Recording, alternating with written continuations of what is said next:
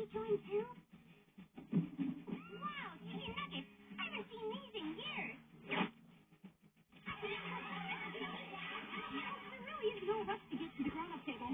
It's gonna happen eventually. So in the meantime, might as well enjoy being a kid. Finally, a little peace and quiet. Did you say peace?